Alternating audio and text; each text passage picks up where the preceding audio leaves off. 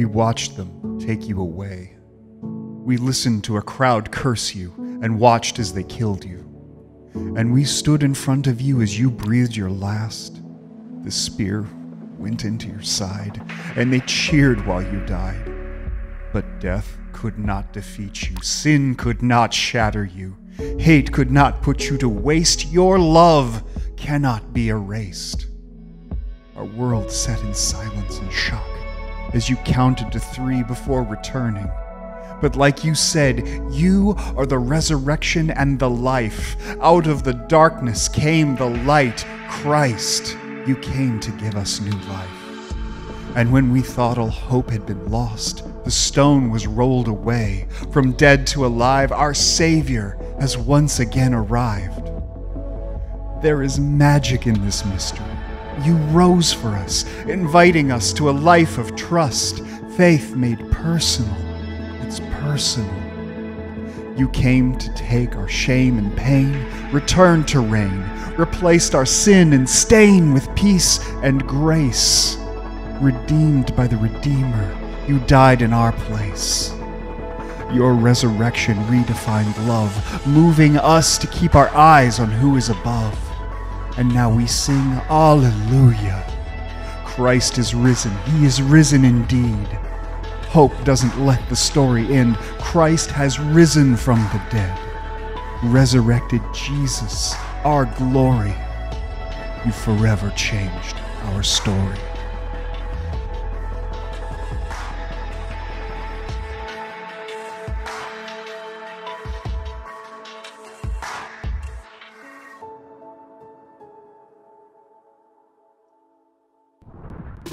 Hi, I'm Danielle. And I'm Lindsay.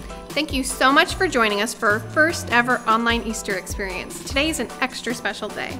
Yes, today we celebrate the fact that death couldn't defeat Jesus. He died on the cross, and three days later, he rose from the grave. It might sound like one of those unreal clickbait articles, but this is no fake news. It's a true story, and Jesus is the real deal. This Easter, we're getting personal. So personal that I'm challenging you right now to invite your friends and family to join you for worship. Just share the link or shoot them a quick text and tell them to tune in. Also, jump into the live chat. Say hi. Tell us where you're tuning in from. Yeah, and it's the perfect day to tune in too because we're wrapping up Compassion Week today by giving away $250 to a local charity in one lucky winner's name. That is so awesome. All you have to do to enter to win is text the number on the screen now. Easy peasy. Okay, and one more thing. Here's what you can expect today. First up is our incredibly creative kids ministry joining us for a segment we call Hey You Kids. After that, we have a short message from Pastor Greg and a song from our worship team. Sounds fun. Let's go.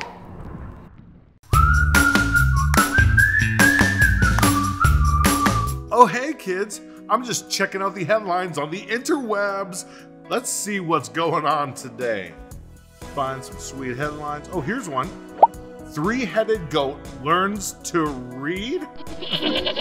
no way! I mean, I could see like a three headed goat eating an entire village, but learning to read? Sorry. Let's find another headline. Ship made entirely of recycled socks sets sail mm, first off, recycled socks? No, thank you. And I don't know about you, but my socks always get wet and the water goes right through them. So I could see maybe a uh, ship made of recycled socks sinking to the bottom of the ocean in a very stinky fashion, but not set, setting sail. Let's find a third headline. Entire school of kids choose broccoli over pizza? Are you kidding me? How absurd! Unless this broccoli is made of candy or covered in chocolate, pizza wins every time. I mean, I can't believe these headlines one bit. Let's try something. I'm going to ask you a question. If the answer is yes, go ahead and raise your hand. Has anyone ever lied to you? If so, go ahead and raise your hand. Have you ever lied to someone else? If so, raise your hand. Has anyone ever told you something that you just couldn't hardly believe because it seemed unbelievable? If so, raise your hand. Actually, now that I come to think of it, Professor T shows me experiments all the time that I find unbelievable. Let's see what she has in store for us today. Well, hi, Mr. B. Professor T, you're never gonna believe these headlines I ran into today. Let me see. Okay, this first one it says, three-headed goat learns to read? What? I know! That's crazy. Super crazy. Okay, here's another one that said, ship made entirely of recycled socks set sail. No. aboard! No. and there's a third one that said, entire school of kids choose broccoli over pizza? What? Yeah. That one I don't believe. No, I don't believe any of them, Professor T. It's it's so hard to know what to believe, Mr. B. That's exactly what I was telling the kids. From now on, I'm taking a stand. If something seems unbelievable, I'll never believe it. Never again. You know, that reminds me of something. Here, put these gloves on. Okay. Yeah, I'm going to show you something. All right. Okay. I got these. Sure. Just give Okay. me a little bit of time. We don't have all day, Mr. B. Mm-hmm. Wrap it up a little. Told you I'd get it, Professor T. You're you're ready. Okay. I'm ready. What would you say if I told you that there were magic bubbles? Magic bubbles? Yeah. That's less believable than an entire school of kids eating broccoli over pizza. Well, watch this. Watch what, Professor T? I'm gonna give you some magic bubbles. What? Look at those. What in the world is going on here? Whoa! Professor I think T. you could even catch one. You ready? I Put your can catch hands up. Is that what these Yes. magic gloves are for? Whoa. Oh! I can do it. I did it! I caught a bubble! Mama, I made it! I'm catching magic bubbles! It's unbelievable! Once again, Professor T, you showed me something that seems unbelievable. You know what? It's hard to know what to believe. And Yeah. some people, they don't even believe that Jesus died and rose again. In fact, even one of his own disciples didn't believe that Jesus had rose again. You're talking about Thomas, aren't you? I am. But we gotta give Thomas some slack here. I mean, Thomas saw Jesus die. How could he believe that he rose from the dead? That's true. Thomas, like you said, if it seems unbelievable, I'm out. I'm not going to believe it. Right! Yeah. In fact, you know what I think will help you out? What's that? Some kids made a video. I think we all need to watch it. Let's check it out. Let me catch you all up to speed here. Jesus had the Last Supper with his disciples, where he said that one of them would betray him. Later at the garden, Judas was the one who betrayed Jesus with a kiss. He was put on trial and wrongfully convicted. They placed a crown of thorns on his head and made him carry his own cross to Golgotha, where he died for you and for me. His body was sealed in the tomb. And now we'll let the kids take it from here. After Jesus died, some of his friends laid his body in a big tomb. There, Nicodemus, I finished wrapping our Lord. Good job, Joseph. Now I could finally set down my ancient Greek equivalent of 75 pounds of myrrh and aloe. That's better. Hey Nicodemus, could you help me roll this stone into place? Uh, I guess so. Soldiers guarded it. The tomb. And sat there all night guarding it. Pilate told us to be here, so we're here because we obey his command. Three days later, the earth shook. Then the angels came down. An angel comes and rolls away the tomb.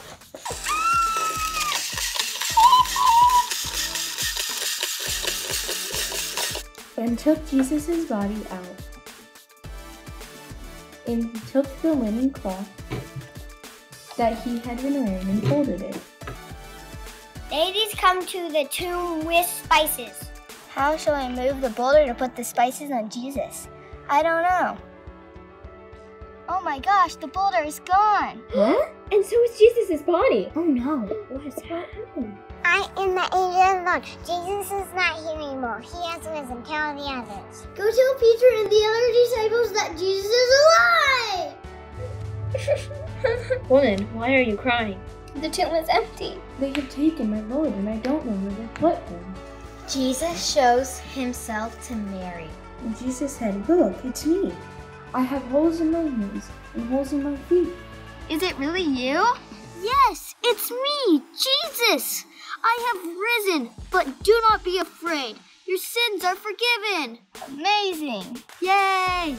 Jesus smiled and, and said, Go tell uh, the others that I will see them in Galilee. So Mary ran in to tell the disciples. Jesus, who is truly God, came down from heaven to be truly human for us. He lived, died, and rose from the dead. Through his death and resurrection, we are forgiven forever and are given the gift of eternal life through him. These kids believe it, and we hope you do too. Mr. B, are you okay? Oh, oh, sorry. I, mean, I was just so caught up. The way that those kids and families told us about our risen Lord and Savior Jesus, it was just so thoughtful and so fun and a reminder that God truly loves us so much to do the unbelievable. That's true, Mr. B. You know, there's a lot of things in this world that aren't real. Yeah, like all those stories that were on my phone earlier. exactly. But there is something and someone that is real. Jesus really did die on the cross for us, and he rose again to forgive us of all of our sins. You know, that is one unbelievable thing that I can truly believe in. Wow! Wait a minute, you mean you're a believer, Mr. B? I'm a believer! That's, That's incredible, right. but now what? Well, now we can't keep this to ourselves, and I've got a way that our families can share this amazing story of Jesus' unbelievable love for us with people in their own neighborhoods. It's Easter, and you may have already done an Easter egg hunt. Pretty fun, right? I mean, you go out, you look for those little plastic eggs, you open them up, and then you devour whatever goodies are inside. I love a good Easter egg hunt. But what if we brought the Easter egg hunt to our community? Uh, let me explain this to you. So what if we were the ones hiding the eggs? What if we were the ones filling them with goodies and toys? What if we were the ones to also fill those eggs with the message of Jesus and his love for them? Whoa. Then we could bring it and and find people we know and go to their homes and hide the eggs in their yard so that they can read about this good news as well. You know, Easter is, is something that we shouldn't just celebrate one day, it's something that we should celebrate for weeks and, and all year long. So Here's the challenge for you and your family. It's huge, but you can do it if you work together. Here's what you're going to do you're going to click on this link and it's got all these wonderful messages. You're going to print off those messages, cut them out, and then you're going to put those little messages of Jesus and his love for you in the eggs, along with the toys and the goodies, of course. Now, this is where it gets a little bit ninja sneaky. You're going to get in the vehicle as a family with those eggs that you've already prepared. You're going to drive over to your friend's house and sneakily stop Get out of the car and and tiptoe around their yard and barrel and hide those eggs wherever you want to hide them, maybe in bushes behind a tree, under a window. Hide those eggs, but make sure you know how many you hid.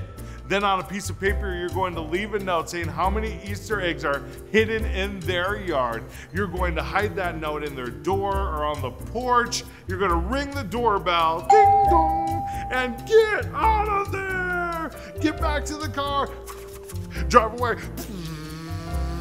And they're gonna find that note.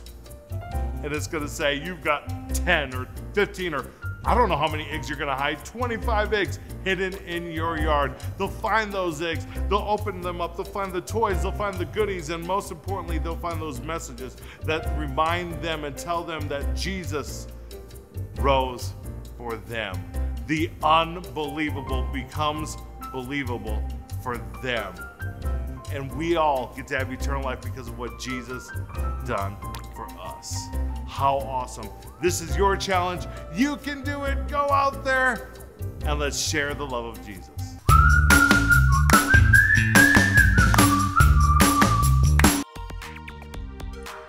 What? Look at that, Mr. At It's alive! Giant bubble! And it's rising just like Jesus on Easter! Exactly! You know what? This bubble that is unbelievable is another reminder, just like Jesus, who unbelievably rose from the dead for us to wipe away our sins forever. Amazing! Happy Easter! Bye.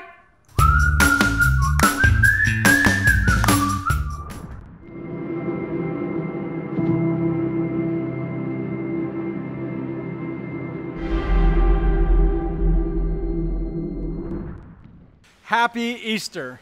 I'm so excited to be gathered with you today here at King of Kings to share about Easter. You know, this Easter, I want us to think about how much Easter, our faith, Jesus, is personal. And it is personal. You know, and it's personal because, well, really, it's all about how we look and see and have come to know Jesus.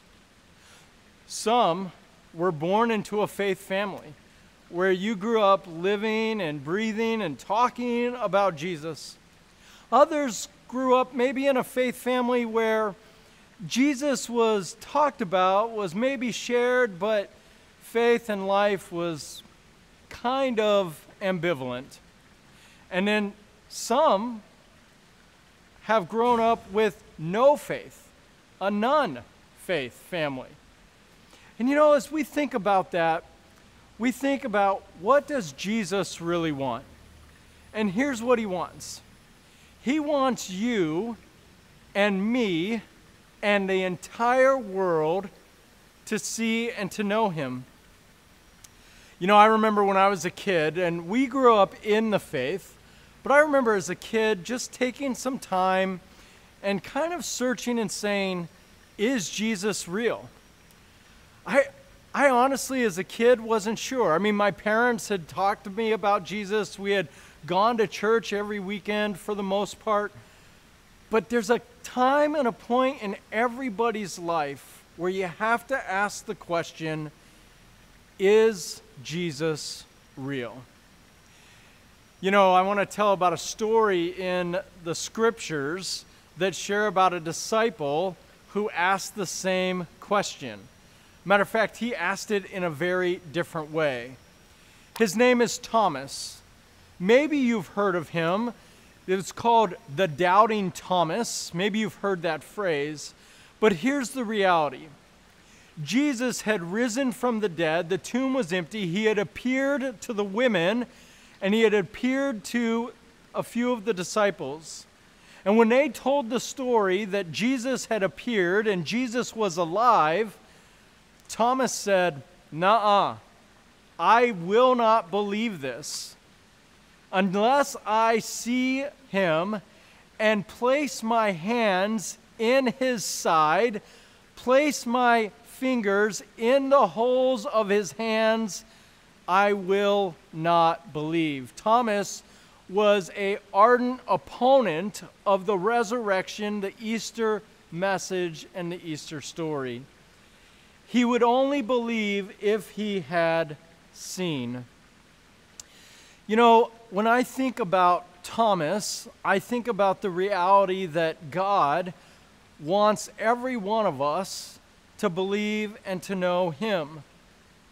And just like when Thomas said, I will not believe unless I see, I think there are times where you and I in our lives, for me it happened when I was a teenager, where you and I in our lives kind of walk down the road and say, God, are you real? Jesus, are you real? Give me a sign if you're real. You know, a lot of times this happens in a crisis moment. I know this past year, many of us have had crises moments where we've asked, Jesus, are you real? Jesus, do you have control over everything else around us that seemingly is spinning out of control? I think that we have these crisis moments in job loss, crisis moments in the illness, the sickness of a parent, of a spouse, the crisis moments in the loss of a child. Yes, every one of us at some point in time will walk through a valley and when we walk through the valley, that is a crisis of conscience, a crisis of faith. And we have to ask ourselves the question Jesus, are you real? And look for the sign that God is giving. I had the opportunity to interview Jon Gordon. Jon Gordon was a person who grew up outside of the faith and now today is a Christian. Maybe you've heard of Jon Gordon, maybe you haven't, but I want you to hear his story of when Jesus showed up to him. The pain, the burden, the fear, the negativity, my life falling apart, losing my job, it really made me seek God. And during that time, God started to to speak to me in, in really some some cool ways. But it was like, God, why am I here? What is my purpose? And writing and speaking came to me one day. Like that's what I was here to do. And so God was speaking to me. I surrendered to God. God, I can't do it alone. I need you, God. Please help me. I call that my, my first covenant where I was now surrendering to God, the, the God of Abraham, right? And so I was surrendering to him. And then I listened to a sermon from a pastor named Erwin McManus. A good friend of mine gave me this sermon by him, and it was called Why I Follow Jesus. And I listened to that sermon, and for the first time, I heard the voice of Jesus. For the first time, he spoke to me. And I remember saying, maybe there is something to this Jesus. I'm open. And I was now open to the possibility of who he said he was. And I said, okay, God, if he is who he said he was, show me the signs. I am open to those signs. And I started to see the signs everywhere street signs, big billboard signs. I started to see real signs. I was driving down to Orlando. I was going to give a talk. I was not a Christian. And I'm looking to the left as I'm driving down the road. And I heard, look.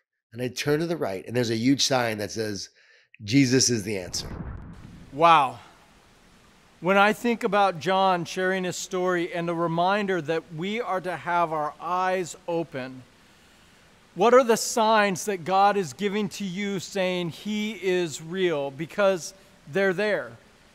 Just like when Thomas showed, when Thomas said, I need a sign, and Jesus showed up and said, Place your hands in the holes in my hand.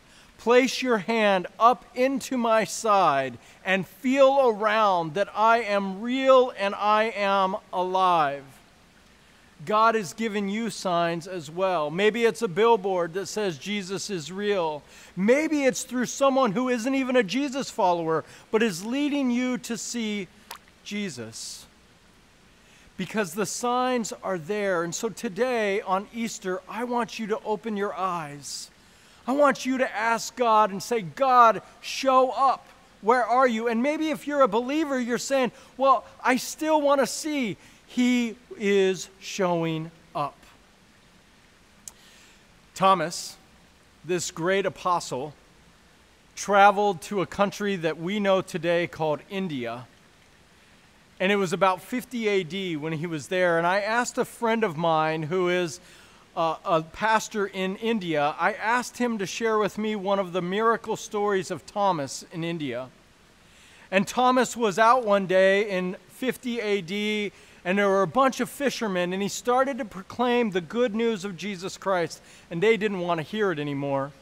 They didn't want to hear anymore about the resurrection of Jesus because they were Hindus. And they walked away. And so Thomas kept sharing the good news of Jesus to the water. And do you know what happened? Thousands of fish came and popped their heads up and were listening to the gospel proclamation. And do you know what the fishermen did when they saw the thousands of fish? They ran back to Thomas to catch all the fish. And as they saw the sign of Jesus and heard the good news through the apostle Thomas, that day thousands of Hindu fishermen became thousands of fishers of men, Christians in this great nation of India. You see, I want you to believe and to be open to the signs of Jesus. They're there. He is showing up to you every day. We just have to have our eyes open. And so I want to challenge you. If you're not a believer, I want to invite you right now. Maybe you're not a Jesus follower, but I want to invite you right now to say, God, are you real? Show me. And just have your eyes open. Be ready to hear the good news because it is that good news that will bring you everlasting and eternal life. Maybe you are a Jesus follower, and maybe you're on the fringe. Maybe it doesn't feel real to you all the time. I want to invite you to examine the reality that if Jesus is real and the tomb is empty and you believe it, how has that news transformed and changed your life? And maybe you're an everyday Jesus follower and you know it, but I guess I would ask you are you spiritually living it? Are you living out the passion and the love? Is your worship spirit filled, hands raised, mountaintop experiences? Do you see the great joy that you can have every single day because you are a person of Jesus? And more importantly, do others see Jesus within you? This Easter, Jesus showed up in the life of Thomas. And this Easter, the promise is that Jesus is showing up in your life today. The Easter victory, the Easter appearance, is not just something that happened over 2,000 years ago. It's something that happens every day in everyone's life just open our eyes and see Jesus in your midst. Happy Easter. Again, if you would like to make a next step in your commitment to a journey of faith to finding out more about this Jesus, the screens are showing ways for you to do that right now. Take that step and know you're not taking it alone. Jesus is right there with you.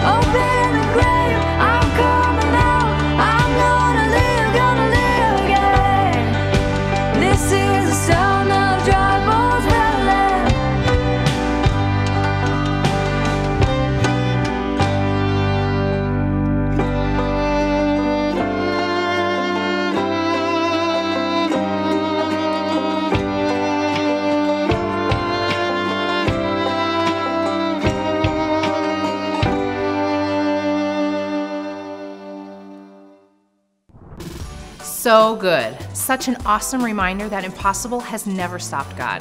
Thanks so much, worship team. If this is your first time joining us for worship, welcome. We're so glad that you're here and we'd love to connect with you. Follow the info on the screen, and if you're a first timer, we're going to send you a free gift in the mail too. No strings attached. Hey, we'd also love to know if there's a way to pray for you.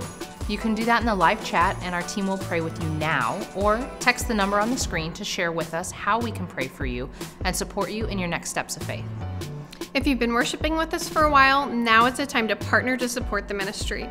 Here are some easy ways that you can do that. You can give online or give via text. Ah, and don't forget to text the number on the screen for a chance to win that $250 to be donated in your name to your local charity.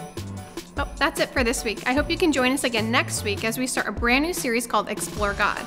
We're going to be unpacking some of life's biggest questions. Let's take a sneak peek at what to expect.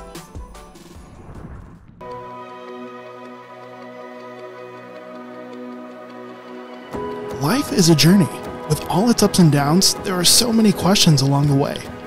That's why we're starting a new series called Explore God, where we'll look at common and significant questions about God and faith. Questions like What's your purpose? Is the Bible reliable? Are science and faith incompatible? Is Christianity part of the problem? Why would God allow pain and suffering? Is there only one way to heaven? How can I know God personally?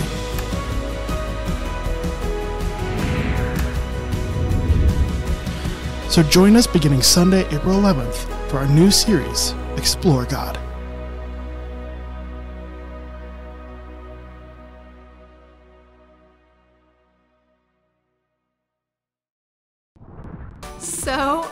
Be sure and set a reminder to tune in same time, same place. Have a happy Easter, everyone.